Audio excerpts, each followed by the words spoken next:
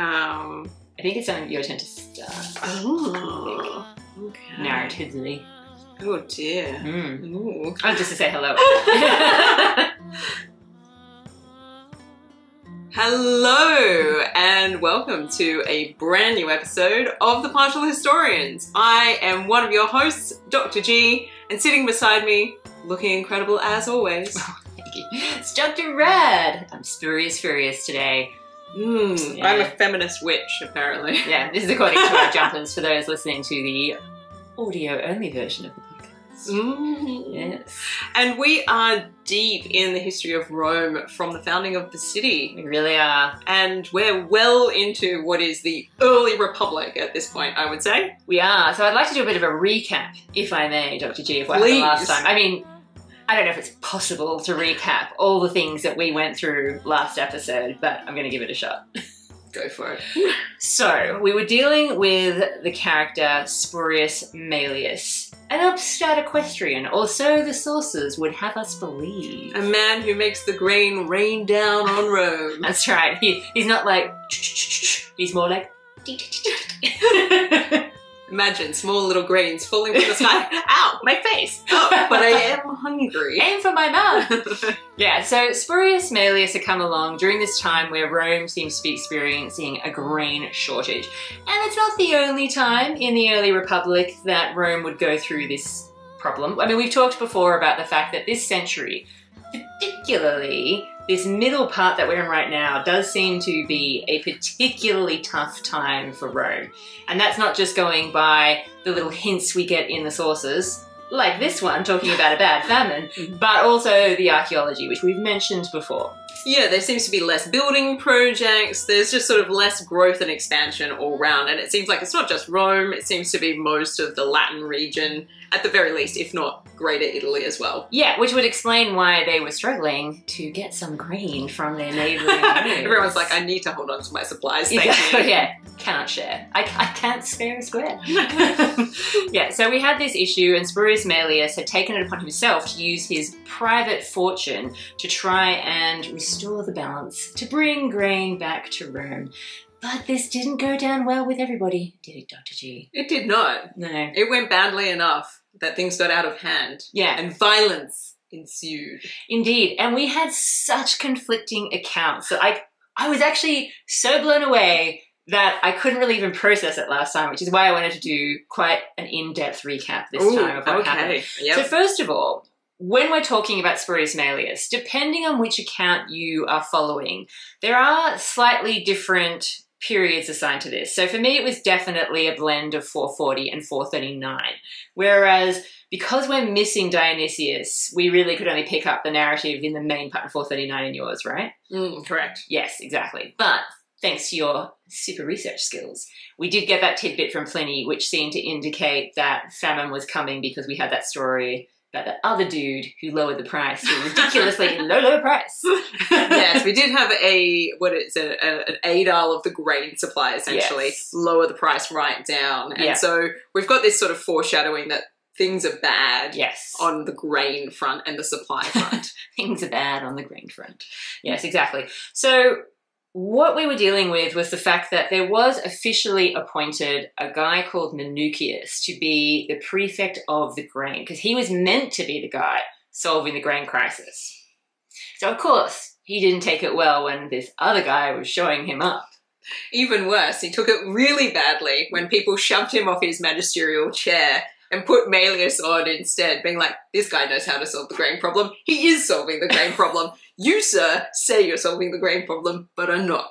Exactly, but see, that was only in your account. Hence my curiosity, Dr. G. Mm, I trying to figure this all out. So first of all, I have seen it said, Dr. G, that the idea of having a prefect of the grain supply might be a little anachronistic at this point in time. Look, that would not surprise me Mm. at all. And I think there is it's pretty fair to say that Mm. what we're seeing with this kind of narrative this early in the Republic is a bit of a, a mix and match of the things that come up with grain supply Yeah. that really concern the Romans in the late Republic. Mm. And the parallels with the issue of the Gracchi and what happens there is playing on historians' minds when they write about this early period. And I don't think there's any way to disentangle that kind of mess Mm. because the Romans that are writing these annalistic histories, like Livy and Dionysius of Halicarnassus, are very much uh, of the opinion that that Gracchan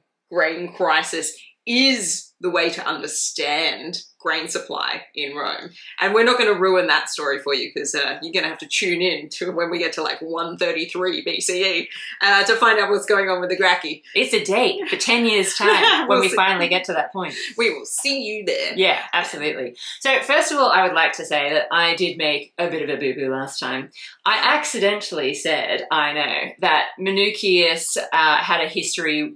The, Minucian family, sorry, had a history with Coriolanus, which is partly true, but this specific Minucius has a history with Cincinnatus, which is what I meant to Oh, say. okay. Now, the reason why I bring that up again is not just to acknowledge my slight misstep there, but also because we had this appointment of Cincinnatus as dictator and him choosing as his master of the horse. Aha!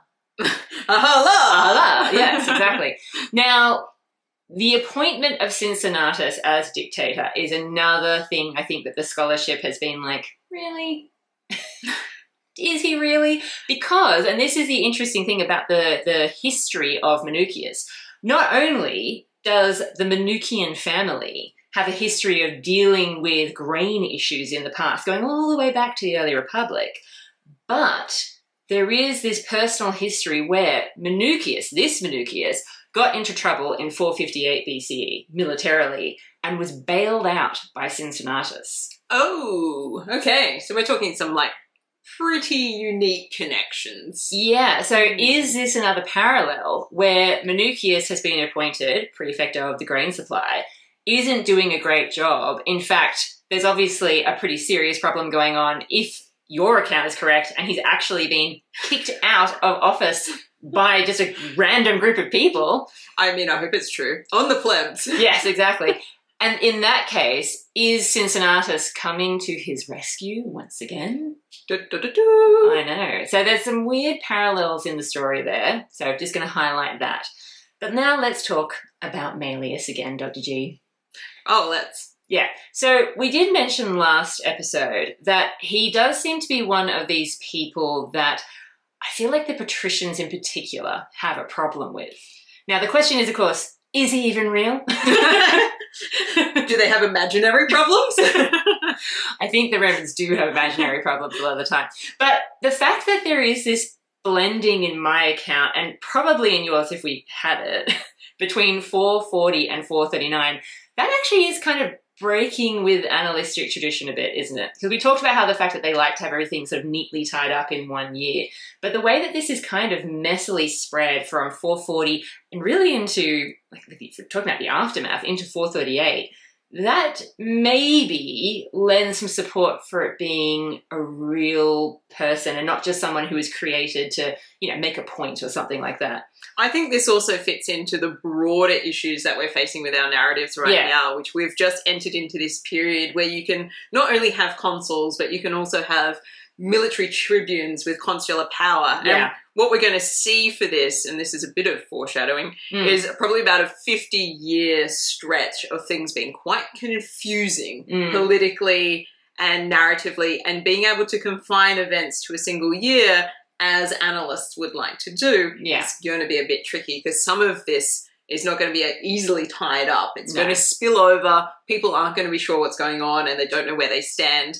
And we're going to see a lot of dictators. Just saying. Excellent.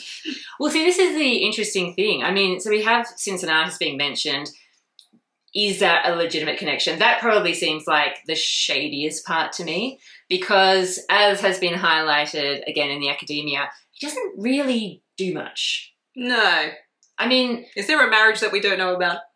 It's weird. Like the, previously, when we've seen Cincinnatus in action, he does actually take center stage. Now I know he's an old man. He's by this point. 80 something at this point. Maybe, you know, he's like, I'm retiring, guys. This is my last swan song. Exactly. Like I know that he would be older, and I know that he's not necessarily the focal character. I mean, he's definitely not the focal character here. They're trying to explain other things, but it just does seem a little off that he'd be involved and yet not involved. You know, I don't know. Mm. It's a bit weird there.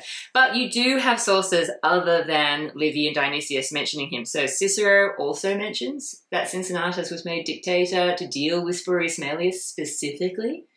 Yeah, I, I don't know that. Yeah, I don't Yeah. have huge doubts necessarily that Mm. Cincinnatus is doing some stuff. Yeah. Now, whether it's this old guy Cincinnatus, Mm. classic Cincinnatus, or whether actually they might be misattributing something that should be going to his son, Ooh. I think that's maybe a question that could be a little bit open because we do see his son enter into politics quite soon after this point in the narrative as well. Yeah, definitely. And then we've also got, as we know, we've got a lot of Quintii on the scene. Mm. we have Capitolinus, again, being a consul of this year, so potentially it's also that family connection. So maybe Cincinnatus was around, Mm. but it's hard to say. But certainly, there do seem to be points to this story in terms of what our sources are trying to achieve. And some of them are what might seem like fairly minor points, I suppose, like explaining how the name Ahala came to be. Exactly, which you explained really well last time, which had to do with like the armpit, Mm. which is, sounds so disgusting. I don't know why you would want that as your It's name. where you hide your dagger before you go into the forum, obviously. yeah, exactly. Um, it's also trying to explain something that's going to happen later in our account. So the erecting of a particular monument, I think. Oh, hello. Yes, exactly. So I think it's going to explain that. It might also be trying to explain. So in your account, you mentioned, I think, that some of the treacherous peoples that were associated with Spurius Maelius had their heads cut off and displayed. Mm, awkward. Yes. That became a practice. So there was this pool in the forum, apparently. Where, Oh, great. Yeah. I know. What? A pool in the forum It's a reflective pool. for heads. Yes, where you can reflect on your treachery Oh, for great. all eternity. Mm. Yes. So apparently there was this pool in the forum called the Lacus Servilius, which is where the heads of traitors would be displayed. I see. I see. I was actually surprised about that because I don't know that I've ever actually heard mention of this. Yeah, I'd like to see more of that. Indeed. Yeah, we don't get enough of the reflective pool of treachery in later Roman history. The reflective pool of treachery.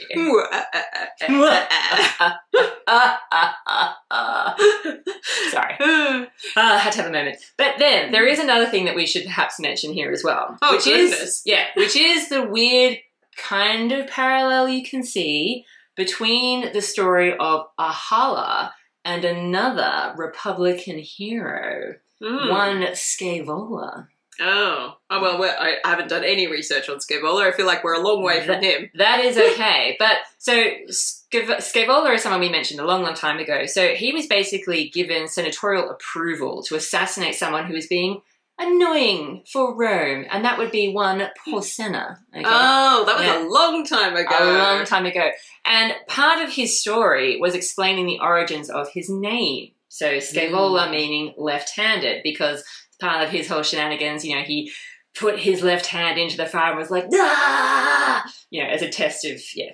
Sinister, that's what I'd call Yeah. that. so there is some interesting parallels here, especially with your account, not so much mine. But if things went down as they apparently did in Dionysius, there are some interesting parallels there because in your account, Ahala does seem to have been given like senatorial sanction to go and assassinate Maelius, who is seen as being a troublemaker for the state. It's a huge problem, Mm. and we see a return, a sort of again and again in some Mm. of the later source material. Mm. That what happens to Ahala in the wake of this assassination Mm. is unfortunate and unfair Mm. because the thing he was doing was saving the republic essentially, and even if it was illegal. Surely, if it's to save the republic, it's okay. Yes, yes, exactly But he gets exiled.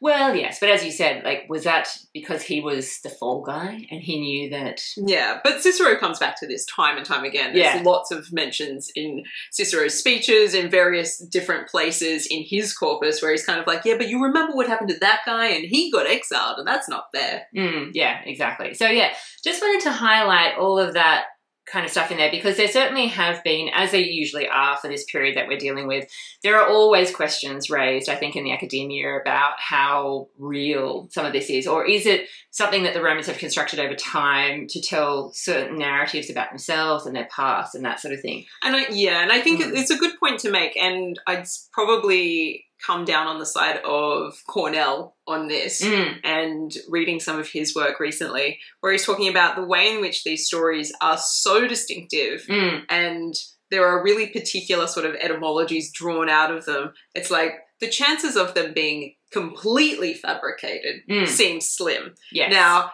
how mixed up the details might be in the retelling and Mm, and the way that which people assert their own kind of interests and reference points into how they retell those tales is another thing that we can really think about. But the idea that this is just completely made up Roman history, Yeah. it seems pretty unlikely. absolutely. Some stuff is happening, and we're in this period which seems to be politically very unstable. Yes. I think that's the thing. I think that the more I look at this, I can say, okay, yes, you can see that there are some slightly mythical or folklorish aspects to this. And maybe maybe certain aspects have been slightly exaggerated to form some really interesting parallels that the Romans themselves might be drawing between, you know, early events and then this thing that's happening. But I agree. I actually do lean on the side of most of these elements being based on something real. The interesting thing is just those different traditions because we had such different accounts of how it all went down. I mean, yes, in the end, Spurius Maelius was The, killed. the important details are the same. yeah, but the man is dead, yeah, and Rome is swimming in grain. but yeah, yours was so much more sinister than mine. Ah. Yeah, mine Yeah. was just a guy. I mean, you know, it was a kind of story that you might hear in certain countries these days, where I'm just wondering if somebody's destroyed Dionysius of Halicarnassus's script on purpose because they don't, they can't handle the truth. they certainly handle.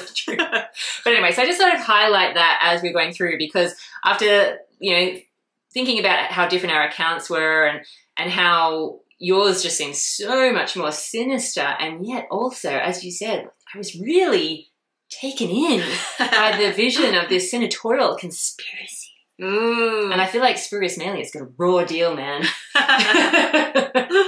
but anyway, that's my recap for 440 and 439. and with that, let us move into the next year in Rome's annalistic history. Mm. 438. It's 438 BCE. uh, what I can tell you is that Dionysius of Halicarnassus is missing for this year. Get out of town. Hmm. It's really sad how often that's happening now. Uh, yeah, it's going to happen more than more. Yeah. Yeah. He's turning into fragments all around me. Very well then. Well, I shall tell you then what I have in my particular account. So, it actually kind of goes straight into the aftermath for me in 438 in Livy. So, before I go into that though, I might just give you a little bit of detail about who we've got ruling Rome at this point. yeah, who's yeah. in charge? Yeah. So we have military tribunes with consular power this Uh, uh, year. oh. I know. Okay, after a dictator, we need a palate cleanser. We haven't had many of these since that was a possibility. No. It's been very consul heavy. Yeah. Yeah. We had, what, one group, and then they got pushed out because the ritual wasn't done I properly think so. and replaced by consuls. Yeah, exactly. Yeah. they haven't had a great track record. I have one uh, Mamercus Aemilius, Mm. uh, or maybe Mamercinus. Oh, yes. Uh, Mamercinus. Yes, indeed. Mamercus Aemilius Mamercinus. Yes, and then as you highlighted, I have one Lucius Quintius Cincinnatus. Ah, yes. So this is the son of the famous Cincinnatus, Mm, dictator of the previous year, ex- or- or and dictator of 458 as well. Definitely, definitely. um, and they are both patricians. No one will be shocked to learn. And then there is also perhaps either a Lucius or a Gnaeus Julius. Julius Iulus. Yes, exactly. Another patrician. Yeah. Hmm. All right. So they've opened it up to military tribunes with consular power, and it's just patricians all the way down. Yeah, they kind of thought the point was to, you know, mix it up a little bit. Yeah. Yeah, but apparently not. Apparently, So, no. Yeah, there you go. There you go. Anywho, so what we have got here is that we have got the order going out that the house of Spurius Maelius needs to be destroyed. Oh. I mentioned this in the last episode as a bit of a foreshadowing. So the house is going to be destroyed because such was the insanity and evilness of his plan that they needed to make sure the very existence of the place, Oh, okay. No So this is like the literal house. his literal oh, house, yeah, not like a plague upon your houses and it's the family. His okay. Spurius Maelius' actual house, because of course, lest you forget, Dr. G, he did a lot of his plotting there. Did he hide the grain there as well? It's tainted. tainted. Yeah, so, and this is going to become a new site, which again is perhaps part of the point of this story to kind of explain why this particular place exists and why it's called the thing that it's called. Okay, Right. so it's called the Aequimaelium. Ooh. Yes. I think it's a bit of a portmanteau going on there. Ooh. Yes. Yes. Yeah. We're So- heading? Just over to the Aequimaelium things. Yeah, exactly. Yeah. So apparently, this was located in a place called uh, the Vicus Iugar- Iugarius. Vicus Iugarius. Mm, and Mm. where is that in Rome? It's basically just below the Capitol. Okay, so cool. yes. Yeah, I mean, you know, Spurius Maelius was a rich guy. So Yeah. I presume his house was in a primo location. so, uh, in terms of like, so the Capitol's a hill and the forum's here. Is it? if you ask of- me which direction, Yeah. I can't tell Oh, you. just thought I'd ask. Yeah. So Cicero apparently claimed that the origin of the name came from aequus or just, Okay. whereas Varro says it's from level. Like I'm pretty leveling it. Right. Yeah, okay. something like that. Who knows? the house is gone. Yes, exactly. Yeah, um, but yes, it certainly seems to have been along the way that you would take um, to the Roman Forum, and yeah, so it's it's yeah, it's in a fairly central Okay. location. Yeah, It's a nice spot. And so, do they build something else there? They they are into erecting something else. Okay. that sounds dirty. wow. I bet they are. Are necessarily dirty. So Lucius Minucius, our prefect of the grain, who apparently was useless and yet is still going to be rewarded because he's on the right side of history, Doctor. Because he's a patrician, and Yeah. it always works out for those guys. yeah, so he is going to be given an ox and a gilded statue. Why? What's he done? Well, he reported Spurius Oh. Maelius' treachery. He's a snitch. You're very forgetful about these details, Dr. G. Uh, I Yes. just, I just don't, don't reward snitches. Oh, there you go. So this apparently would stand outside the Porta Trigemina. hmm Okay, Trigemina. Trigemina.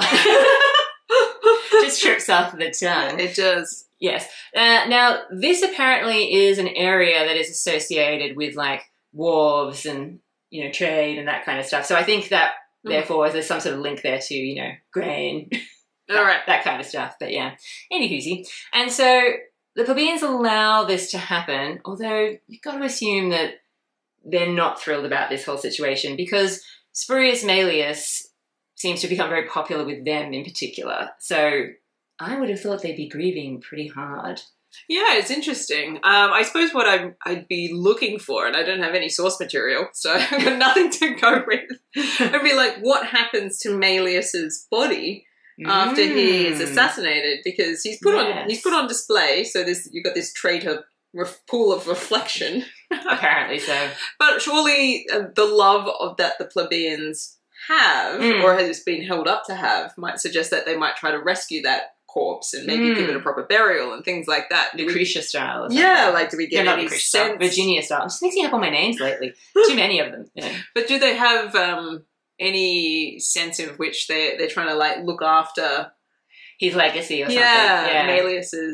Well, I suppose there is a memorial where his house used to be. awkward. yeah, but just might be not the kind of memorial you might desire. No. Hmm, anyway, so then Minucius has been able, because of everything that's gone down, to seize all the corn that Maelius had managed to procure. Oh, I'm not just going to steal the man's life. I'm going to steal his legacy as know. well. I'm like, this just seems so. so patrician. Yeah, but anyway. And then he can distribute it at a very, very low price. Like, Wow. like more than the low, low that you were talking about before. This is low, low, low. Wow. Yes. Okay. Yeah. So I wonder if there might be a conflation with what's going on in those references as well. Well, this is what I was wondering. Yeah, back back in the day when you first referred to that guy, I was like, is this a reference to To this guy? to this guy? But certainly, it does seem that he was yeah distributing it for a pretty good Bargain basement prices. Yeah, exactly. All right. Indeed. Yeah. Now, there's also another detail about Minucius which I uh, need to pass your way. Hmm. Yes, get ready for it. So, Livy does acknowledge that there are slightly different accounts of this, and he's using different historians to sort of piece this all together. But it seems that somehow Minucius is at this point transferred from the patricians to the plebeian class. I was expecting a reaction. I don't even know how to react to that. Uh, yeah, and this is for why? On on what Oh. account? Oh, you just wait. You just wait. They're making him the 11th tribune of the plebs. Ew. Why? Why? Why? Do the patricians need to have a reason Mm. to rub it in the face of the plebeians? I don't know. It just uh, I don't feel like a. Where's the sense making here? Yeah, it does seem to be an odd one, but I think it was because they wanted a, a mole. You know, they wanted to make sure that the tribunes weren't thinking any thoughts Hmm. that they didn't like that might, you know, lead to the pool of treachery. So I think they wanted him in there to steer the ship in the right course. Right. Okay. But to be honest, if you're going to do that, there are probably less obvious people to do the job. Yeah, but and also he snitched once. Why wouldn't he snitch? Everybody knows what he is. I know. Right, I mean, like who's going to tell him anything? A meeting at the Tribune of the Plebs where there's now eleven of them. They're like, well, I guess we'll. Well, this cracker's delicious. I'm loving this grain. You know. Wait till he goes to the bathroom. You're like, quick, plan the overthrow of the government. I know. It does seem like a really odd part to this story. yeah, Hmm, the vibes are off. They really are. But yet, this is, this is what I've got to work with. I mean, what are you doing? well, he does say, you know, different accounts. He does acknowledge there's something. There's some discrepancies here. you know. Yeah, exactly. Yeah, I mean, all of this seems like a real, you know, wound meets salt to the plebeians Yeah. who've just lost their hero. Because no, I should have mentioned actually. Not only was he given the statue, but like that was paid for at the public expense. I mean, Yeah. I, I presumed you would guess that, but of course, uh, yeah. makes total sense. yeah.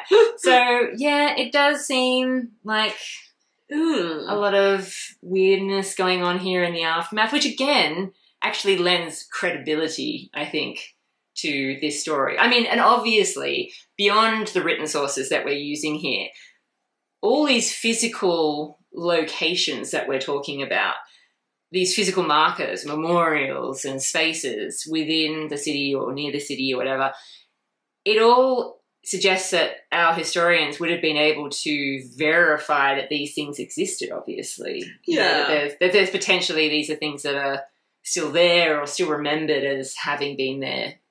Yeah, I think if we're talking about archaeological sites, Yes. yes, there's Mm. often going to be like a legacy of remembrance in places, Yes. which would allow these stories to be recounted. And it's a matter of then for people like Livy and Dionysius of how they make those places make sense yes. in accordance with the sorts of stories that they're hearing from elsewhere. Yeah, exactly. Yeah. Now, Livy does note, Dr. G, that he doesn't think the patricians would let the number of tribunes of the plebs actually get higher. So, turning it up to 11. yeah, you're setting a dangerous precedent. yeah, he notes that this also seems a little weird. He also is like, why would you make 11 even if one of them, you know, was on your side? Why would the patricians have any interest in introducing this? Because they hate it.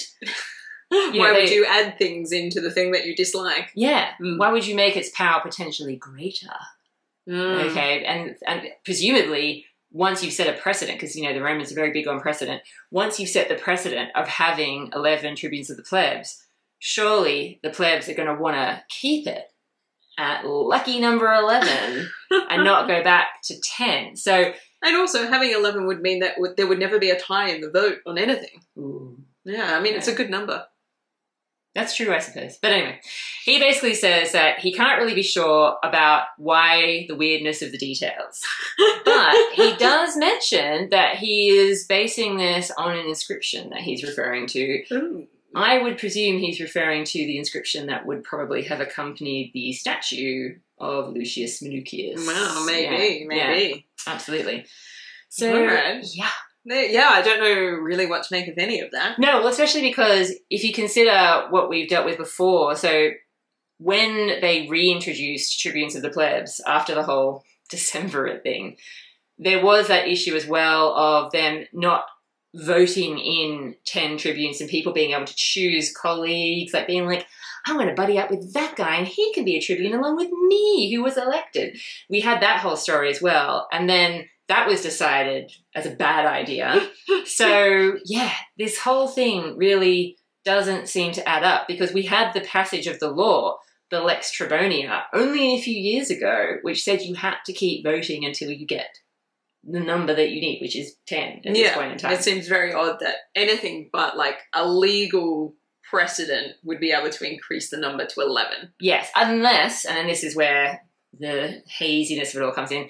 You and I have often said that sometimes we can't be sure of the numbers that we're given for these particular offices, you know, that there were this many and that it was this strict at this point in time. Yeah, yeah. And there's a sense in which, Mm. like, in the same way that we seem to be navigating, like, how do we rule with a top magistrate group? Is it going to be consuls? Is it Yeah. going to be military tribunes with consular power? We're having the same sort of issues with the tribune of the plebs. And it's Yeah. like, do they pick a buddy? Do we continue to vote until they get them all in? Are we able to just chuck a patrician in there by saying they're a plebeian now? Yeah. You know, they're trying to figure some stuff out here. And I think this is all evidence of the sort of crisis mode that I think Rome is in at the moment, where Yeah. they're not sure how to do stuff. No. They haven't landed on their feet after the second decemvirate has wrapped up, Yeah. and they're still really concerned. And on top of that, it's a famine. And Yeah. so people have, are not in their right minds. People are desperate, and maybe people are making decisions that they wouldn't normally make Yeah. under better conditions. Absolutely. And of course, as you might expect, there is some resistance from the tribunes of the plebs. They're not just like, Minucius, my old buddy, my old pal. Come on in. Yeah, exactly. So apparently the guys who resisted are Quintus Caecilius, Quintus Junius, and Sextus Titinius. Mm. Yeah, so these guys are like, whoa, whoa, whoa. Hold up. Don't So know if Minucius should Three out of the ten are like, They break down. uh, Yeah. They're like, whoa, whoa, whoa, whoa, whoa. I don't think Minucius should be getting any of these honors. I mean, are we forgetting the fact that he is surely partially responsible, along with Ahala, for the murder of Spurius Maelius? Hello? I mean, you might not like the guy, but he brought a lot of food in. Exactly, yeah. So this is why we end up getting in 438, because this is actually kind of the tail end of 439 for me. This is why in 438 we end up getting military tribunes with consular power, because these guys mm. force through an action to make sure that that's what's going to happen. And yet, as I mentioned, they're all patrician. they're all profession. what? yeah, it's tough out there. Yeah, This period of Roman history is bonkers. I know. I think that they were obviously assuming that the plebeians would be able to get elected as a military tribune because if they uh, campaigned on the platform that they were going to seek justice for Maelius, that that would presumably be enough to get them into power. Apparently not. Mm. It's all so weird. I know. I know it's all So many weird. questions. Yeah, exactly. Yeah, but this is where we get uh, Aemilius Mamercus, Mm. very early guy, and this is where we get Lucius Julius mhm, Mm-hmm. Mm-hmm. of future fame in terms of family name, etc. Yes, yes. And Pay attention course- to these people. Yeah, Lucius Quintus, who we've talked about as being the son of Cincinnatus. So, and this is the thing: these guys aren't just patricians. These guys are apparently super elite patricians. Yeah, yeah. These are very prominent families at this point. Yeah. So that's very interesting. And it's like, let's just throw all of the big big gun patricians into the uh, military tribune. And this is where maybe it does actually all make sense. After the patricians perhaps being really shaken by what happened with Spurius Maelius, they're not taking any chances Mm. that they're going to have their top guys on the scene. But how they would make sure that happens presumably would have to be, you know, using clients, I guess, and that kind of thing. I don't really know how they would make sure that happens, but and yet they do. And yet, yeah. Yeah. 438. So I don't have a lot of detail about this year. It's Okay. pretty fair. Yes. Um, I have Diodorus Siculus, Mhm. who lets us know that we've got some military tribunes rather than consuls. Excellent. fair enough. We agree. Yeah, he's all over that. But he also then is super interested in the Peloponnesian War. Mm. And Okay. the Pel- well, I mean, we'll pause right there because Yes. it's 438 yes. BCE in Rome. Sure. And when does the Peloponnesian War start?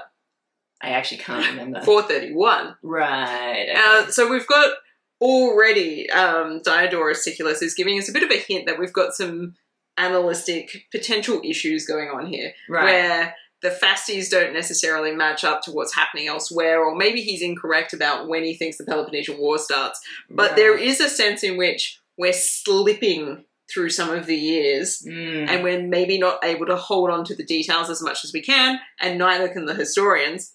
What are you talking about? Everything we've said so far has been so straightforward. It makes so much sense. Well, it's gonna it's gonna keep slipping like this, at least Yes. in my material, Mm. for quite a few years. Right. yeah. So I'm flagging it now that like even Diodorus Siculus is kind of like, well, this is the year that you know Euthodemos was the archon in Athens, so he tells you who the archon is, and right. they usually rule for like anywhere between like a two and four year period, and then he gives you the consuls. So you're like, okay, cool, and then he's like, and now on to the Peloponnesian War, and you're Right, like, okay. wait a second, Yeah. and he's super interested in the Peloponnesian War, so he's like. I'm going to give you all the details on that because that is incredible, guys. Screw what's happening in Rome. Yeah, Rome's not that much, not that interesting to me. Yeah. But the other thing that we get, and this is where I start relying on Broughton a lot, I'm like, who's even who in Rome at this point in time? Yes. And he tells us there's a whole bunch of ambassadors, Yeah, so they're going to come up in the next part Mm. of what I have to say. Yes. whole bunch of ambassadors, and so we've got Gaius Fulcinius, Cloelius Tullus, Mhm. Spurius Antius, and Lucius Roscius. Mm. Uh, some of them are named, and we also have mention of the Etruscan king, Mm. Lars Tolumnius. He's going to be a big part of my next couple of years. don't you? Yeah, he's a- We've got the, the king of the Etruscans. So, the way that Etruscan kingship works, as far Mm. as we can tell, yes. is that they have, they divide it up. They've got 12 kings, essentially. Wow. Well, that's because they've got so many different regions. They've got right? different regions, Yeah. and so they've got kings of regions. Yes. And then they sort of, within themselves, someone might be the king of kings. But Wow. It's sounding very Games of Thrones ish. I love a king of kings. It's hard to know um, when you encounter an Etruscan king whether you've encountered a king or the king. Mm. So, We are the kings of different regions. amazing. Lars Tolumnius, Mm. uh, Etruscan king. Um, and that's kind of, I don't get any details about what happens to any of these characters. Oh, just you wait. You're in for a treat. This is uh, quite the conundrum. But I do have Lars Tolumnius, uh, Tolumnius Mm. does last, does live into the next year. Just, just in case Okay. that might affect your narrative. Yeah, okay, okay, okay. All right, let's get back to Livy, shall we? All right, so we have this whole thing where we've got the military tribunes with consular power. Mm. Okay, they're in, they're very elite. Scene change. We're no longer concerned about what is or isn't happening within Rome itself, the messy power dynamics between the patricians and the plebeians, etc. Okay. Instead, we are switching to the Roman colony of Fidene. Ah, Fidene. Yes. Mm. Now, Fidene is somewhat close to the city of Veii, and I think we have mentioned both of them quite a bit in previous Yeah. episodes where we've been talking about conflict with the Etruscans and that sort of thing. Yeah, so Veii is the Etruscan city just to the north of Rome, Yeah. and Fidene is kind of just a bit to the east and south. It's they're co-located, as it were. yes, indeed, yes. Now, what basically happens is this Roman colony of Fidene revolts and transfers its allegiance to Veii. Ooh. Yes, which is ruled by one Lars Tolumnius. Yes, exactly. And that's where he comes into my account, okay? Mm. So, this is an interesting development. They've we have. defected. They have defected, Wow. okay? It's, it's not going to go well for them, I'll tell you that. Anyway, but this was made even worse, okay, by this particular situation, okay? Which is the Romans sent some ambassadors to ask why the switch? Uh, to Fidene. Yes, to Well, like, Fidene. Guys, you're ours. Yes. I don't know if you've noticed, but your roots are either you're either like Alban or Latin or something, but you ain't Etruscan, and you were loyal to us, so why are you switching brands? Maybe ask why you chosen to switch to a different insurance policy. Would you like to consider your answer? exactly. Mm. Now these ambassadors are put to death. By the Fidines? Yeah.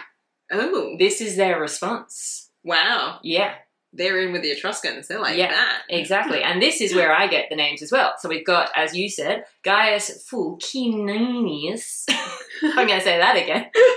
Gaius Fulcinius. Cloelius Tullus, Spurius Antius, and Luscius Roscius. Yeah. Now that's another name I can get on board with. Luscius Roscius. You rock. yeah. Now, some people try and say that this was a poor choice of the Etruscan king who was now obviously in charge of affairs because, you know, of the defection. Obviously, he's behind it. Well, yeah, you would presume He's so, yeah. encouraged this sort of behavior. Exactly, yeah. So, King Tolumnius, what's the deal? Hmm. Okay. Apparently, buddy. yeah. Apparently, it's a bit of a Henry II and Thomas Becket situation. Look up 1170 in English history. So, there is this story that Henry II said something like, you know, who's going to rid me of this troublesome priest? And this was overheard by some knights who then went and killed Thomas Becket, right? So- Disaster. yeah, not good.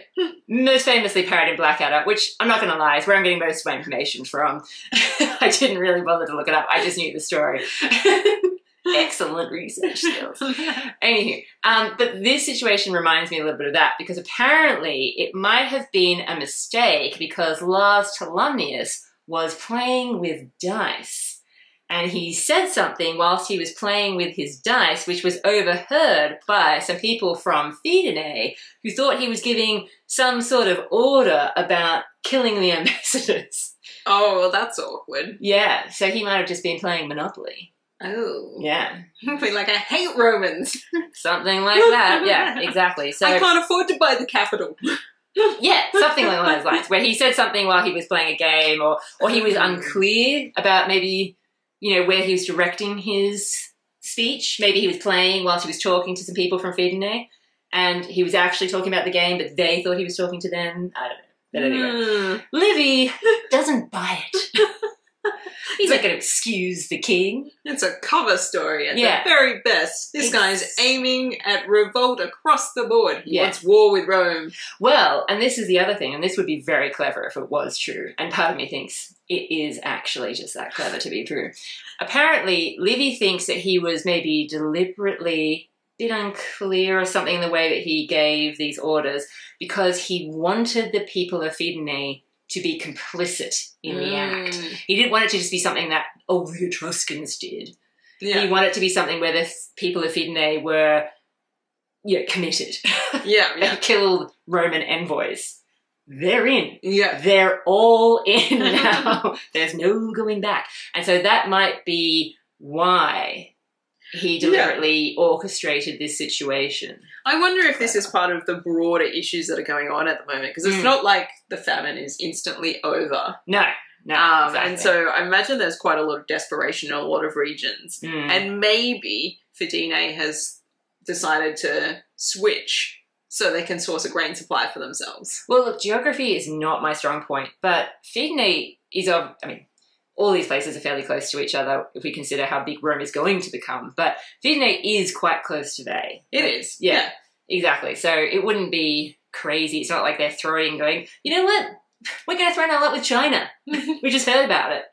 Yeah, no, they're, they're throwing it in with a really close neighbour, and Yeah. potentially Rome has had its own problems for quite Mm. some time, it would appear, Yeah. at least from the histories that we've been looking at. And so maybe they need some stuff that they just can't get any other way, and it makes sense. Yeah, absolutely. And uh, those ambassadors, well, they just had to go. Well, and this is the thing. Because they died nobly in the line of duty, they also get statues at the public expense. Oh, what? oh, But there's a lot of statues going on now. They really are. I don't, I don't remember I time. don't. I don't think this is. No, this doesn't seem the right time for a lot of statues. If I was naming this like a Friends episode, I would call this the one with five statues. Oh, That's a lot of statues. It is, Mm. yeah, absolutely. So um, they get the statues erected uh, on the rostra.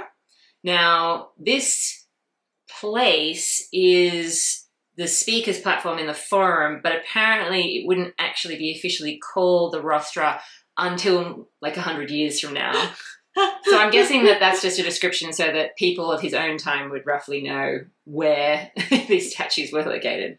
But anyway. the speaker zone. Yeah, and that's probably why we actually have such a great collection of their names because their names probably would have been obviously inscribed on said statues.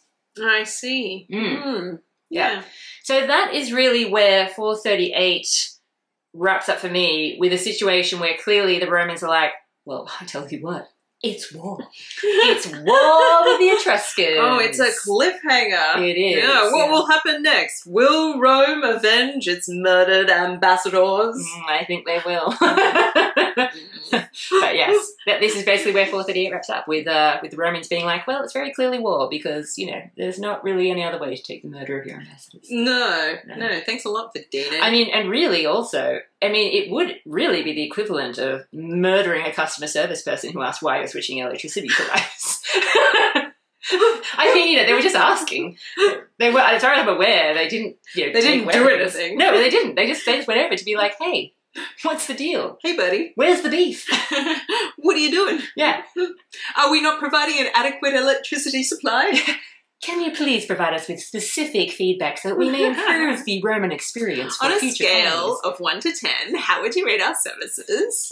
And can you please explain why? Mm. yeah. Anyway, so yeah, All that's, where I'm, right. that's where I'm going to wrap up. Oh, look, I, I think that's probably a good place for us to wrap up the episode as well. All right. That means, Dr. G, that it is time for the partial pick.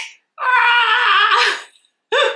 a shout out um, to uh, our Patreon supporter, Robin, who has inquired most uh, sympathetically on behalf of Igor and what has happened to Igor, Igor will return to the podcast version, but just not the video because we have to edit Igor in. So yeah, poor Igor. poor Igor. yeah. it is time for the partial pick, which means there are 50 golden eagles up Mm. for grabs for the Romans in five different categories. Yeah. Mm. Let's see how they do this year. All right. So what is our first category, Dr. G? Military clout. Huh. Well, I mean, I guess there is kind of some action, but it doesn't go well for the Romans. I mean, does having military tribunes instead of consuls automatically give you clout, militarily wise? Mm, no, I don't think so. Uh, I thought I'd try. it's, a, it's a zero, I'm afraid. Diplomacy. Look, the Romans really tried. They did They actually. sent some ambassadors. Do we? I think we could. We can give them points for trying to be diplomatic, even if it wasn't received very diplomatically. I think so. Yeah, it's a nice gesture. They didn't just turn up with an army. They were like, "Quick, send the ambassadors." Yeah. Okay. So maybe we give them what five? Yeah. Okay, five. Because we don't really know how threatening the ambassadors were being. I mean, did they ask for it? Mm. Were they being kind of douchey? I, I don't want to. I don't want to victim blame. I don't want to either, but I mean, it is the Romans. They might have been being a bit douchey about it. That's true. Yeah. it's hard to know. All right, so five. Expansion. Definitely not. They've lost territory. can we? Can we minus points? I think that's a minus one right there. Yeah. Lost Fidene. so what? Are we down to four then? All right, four it is. Uh, Virtus. okay. Hmm. Mm. Not really. I mean, dying in the line of duty. I mean, it gets you a statue, but Look, I think we can say that as far as the patricians are concerned, sure. Minucius, Yes. he- he's deserved that statue as far as they're Well, he Uh, said we might disagree with that, but Yeah. he's been given a statue. Well, it's like when Livy first introduced him, he basically said, Look, he wasn't a great prefect of the grain, but he was great for liberty. Mm. So clearly his reputation is one of preserving something that the Romans value very highly, or at least certain Romans. So I think it's liberty for some, Ooh. maybe not. Yes. Yeah, All right. So Yeah. I think there has to be a weird twist score here. yeah Um, definitely. so is there anything greater than receiving a statue? Maybe getting a wreath of some kind. Um, but getting a statue is pretty up there, so I feel like it has to be probably about a six or a seven. okay, yeah, I'll give him a six just because I don't like him. Fair enough. Yeah. And what is it like to be a citizen at this time? The citizen score. Is it a good time to be a citizen in I Rome? think so.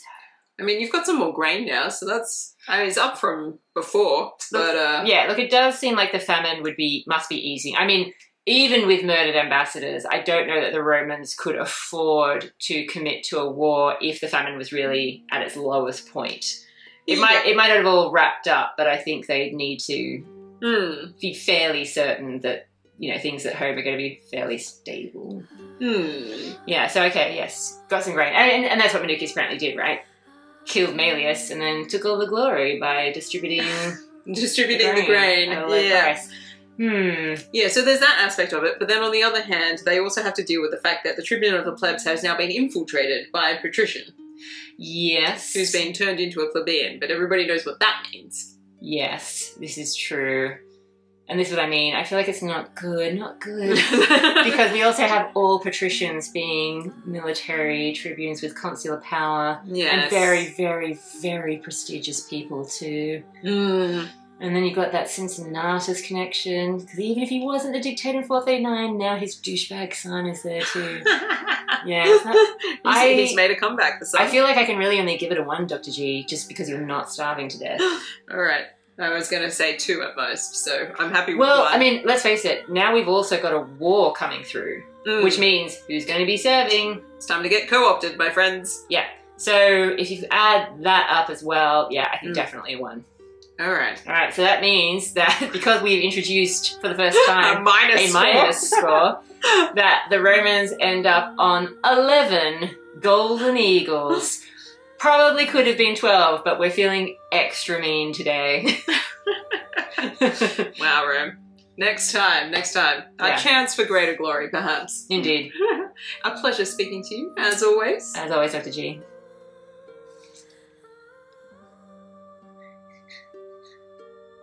I just realised I'm waving at the camera like it's actually stopped because you're pressing stop. But no, no, the camera, the camera's still going. Still going, still going. And. Do you want me to lean over and Uh, you can, yeah, turn that thing off.